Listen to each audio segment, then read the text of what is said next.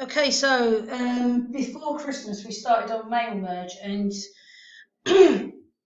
whether you're one of my students or whether you're a student from around the world, you would have studied IGCSE ICT, uh, where you would do mail merge. Now, um, the mail merge for year 13 goes a little deeper. Okay, so for, first of all, we need to remember the reason why do we use mail merge, because as you know, um, this could come up in theory in your exam as well. So I thought this was a very good reason. Imagine if you had to write a thousand birthday invites. Would you have to write um, each invite a thousand times? Or would you insert everybody's name and address diff individually? Okay, so the way you've got to look at it is, is there's several ways you could do that. Yes, you can write the uh, birthday invites a thousand times. Yes, you can insert everyone's name and address individually. You're probably thinking I just use copy and paste. Well, why do that when you can use mail merge? Okay, mail merge is really simple. So, um, in the, one of the other videos, I will be going into it, um, of how you do it and so on.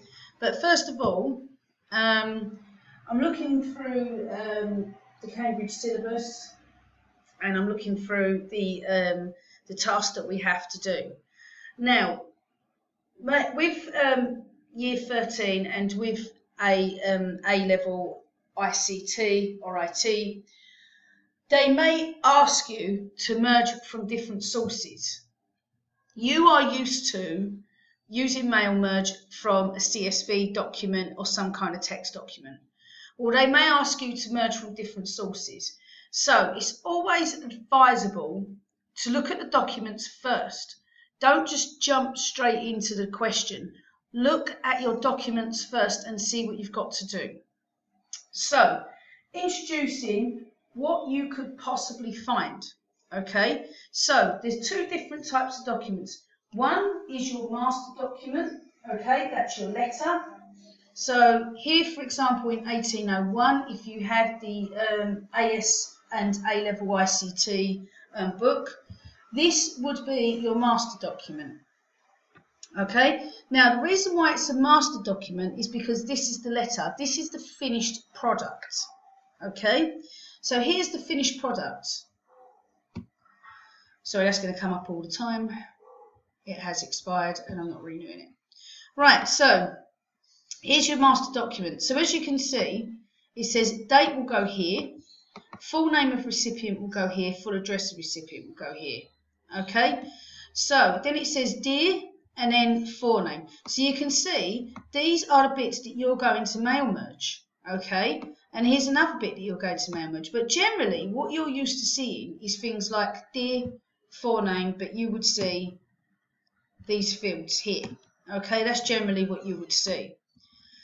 Um, so rather than writing someone's name and address a thousand times or different people's name and address where you know there's going to be room for error, X, Y, Z, okay, you would use mail merge.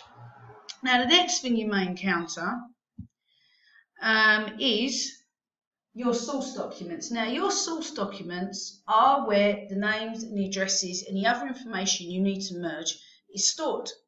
Okay, now, your source documents could come in different ways, okay? You need to understand the file types for you to merge them, okay? So, 1803 here, okay, is supposed to be a CSV document, but you can quite clearly see that it's not. But as we've experienced before with Cambridge, you know, these things can happen. So, you can see that it's going to be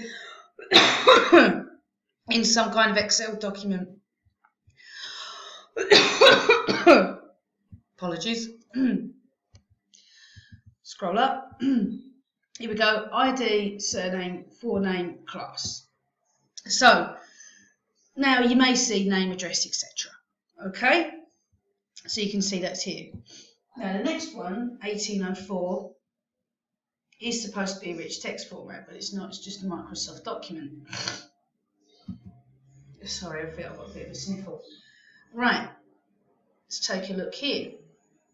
So you're probably thinking, okay, this is um, a standard word format, so on. Okay, as you can see, it's not. Now, for you that is very experienced, you should have realised as soon as I run my mouse over there, you can see evidence of a table. Okay, and if you're thinking, how did I see evidence of a table? Um, well, when I run my mouse over, you could see that this appeared. Okay, so if I highlight this information here, you can see this is all put out in a table. If you want to see the table, go up here, select all borders, and there you go.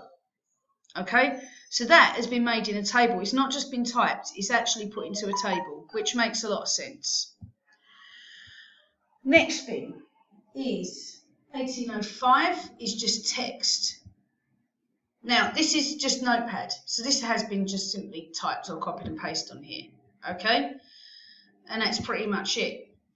Then um, 1806 is supposed to be an XLS, but you can see it's the same as that because it wasn't saved as a CSV. Okay, so this is just the same.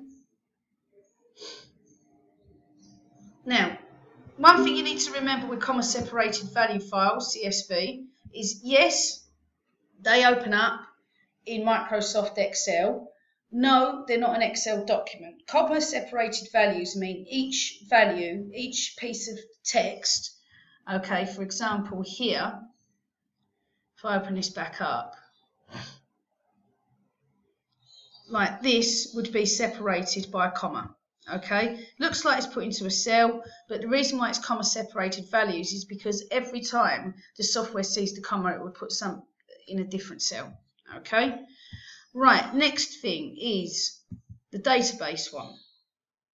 Okay, so there's basically two tables here. I'm not going to save this. Um, I'll enable content.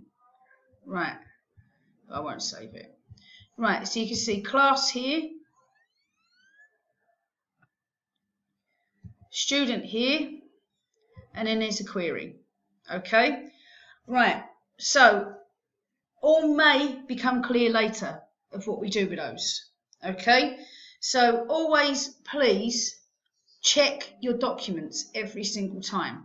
Okay, don't because as you know, things can go wrong. You've got what two hours for the exam and there's a lot to do. We don't have time for error. Okay, so always open your documents and check them first. The two documents, you should have two documents that you'll be given. Okay, one will be the master file, one will be the source file. Check both of them. Okay, that's always the first thing that you do.